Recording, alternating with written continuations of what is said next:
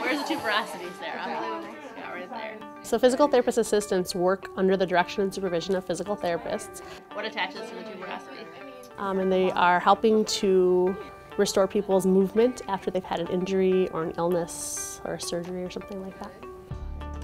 So the students have lecture classes where they learn about um, the muscles or how the body works. The articularis genu muscle. And then in the lab classes, they're going to learn how to measure range of motion, how to measure, do strength testing, how to do exercises to strengthen particular muscles or stretch particular muscles. And then, then they'll go out into the community and be paired with a physical therapist, physical therapist assistant, and do those same activities on, patient, on actual patients. In class, we do a lot of hands-on work, and you get to really learn um, different bodies and different body types, and um, it helps us prepare for what we'll see after we graduate.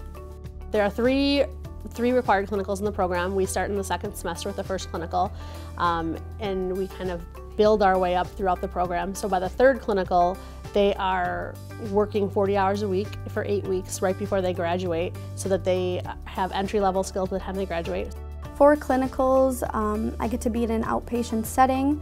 Um, it shows me a lot of real-world experiences with types of injuries and everything, and it also gets me um, experience outside of the classroom, and um, it really prepares you for when you post-graduate.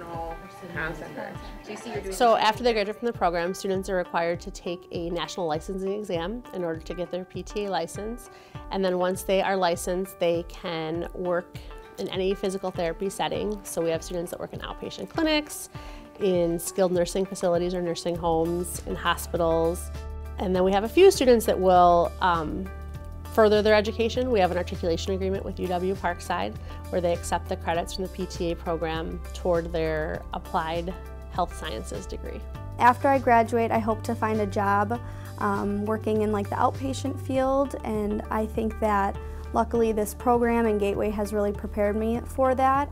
It's a really good outlet to helping people in the community and helping people better their lives and it really sparked an interest for me.